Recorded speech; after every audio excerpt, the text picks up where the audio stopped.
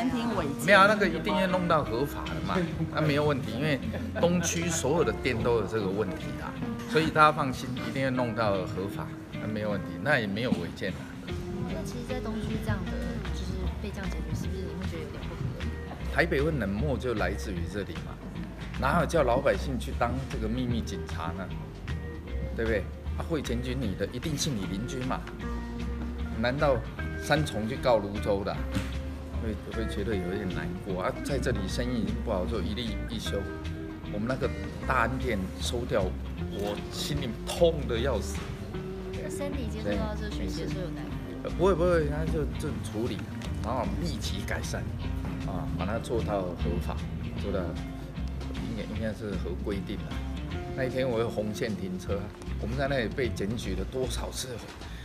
那里全部的车，因为东区没有一部车是合法停车的嘛。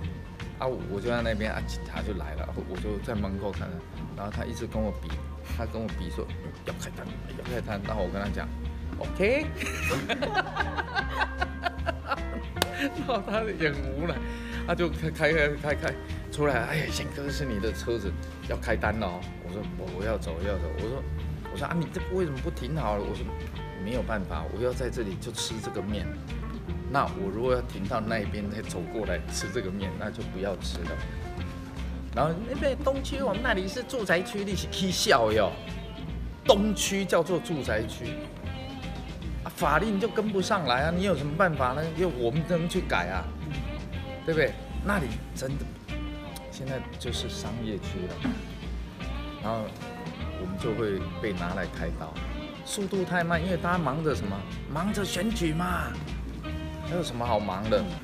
对不对？他老百姓要的都不做哈，然后就是每天得这个这个出来，那个要出来，妈出来选中 A 是你们在 A，我们又没得 A，是不是啊？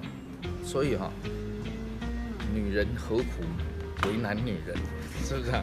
人家开一个咖啡馆，然后哇要检举这个检举那个，莫安内啦，良心拿出来嘛，对不对啊？人家还是缴税的，哎，就很清楚是检举的是邻居，然后又是女的。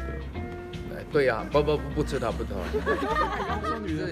这只是一个形容，只是一个就是商人何必为难商人嘛，大家都做生意的嘛。